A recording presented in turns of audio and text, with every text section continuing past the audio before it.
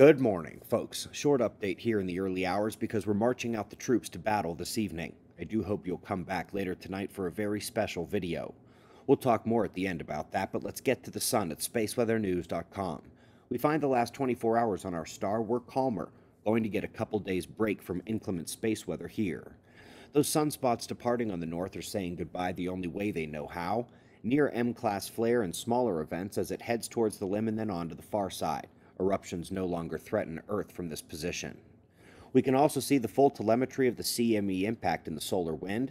Plasma speed, purple, it's the only thing that remains elevated, but it really represents a more appropriate sunspot maximum ambient speed to the stream. It's been a little low lately.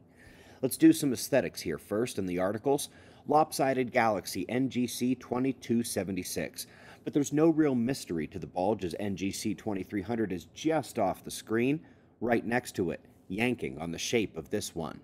The prettier eye candy comes when Chandra combines their X ray view of the galactic center with what is unquestionably the most incredible radio signal image we've ever seen. They allow the composite of the two and add some labels in there to help identify certain features. From the nova blast to the interacting stars in the dense environment to the pulsars and other emitters like threads and clouds, it's probably one of Chandra's most eye catching releases so far this year. Folks, we're not going to show the actual paper up here next, because as veteran observers might guess, there was no signature of dark photons at all. But this was one of the largest collaborations ever in this realm, and when something's not there, you gotta realize just adding a bunch more people to the team isn't going to help you find it.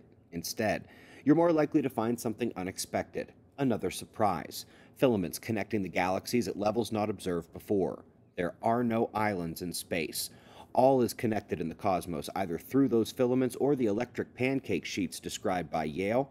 Just a reminder the Milky Way has both these small filaments and touches the local sheet. Lastly, on the article front, remember how a few degrees of warming in the ocean was supposed to kill everything?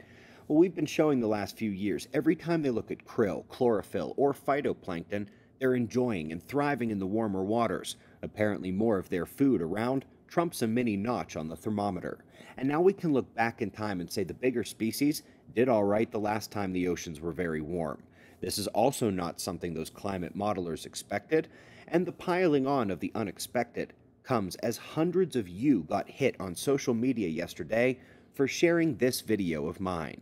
They set 10 professors and national lab scientists on us on this video, trying to debunk it and counter it.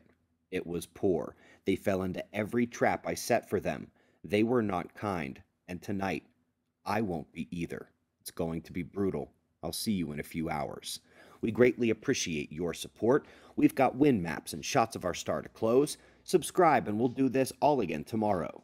Right here, but right now it's 5:30 a.m. in the new Valley of the Sun. Eyes open. No fear. Be safe, everyone.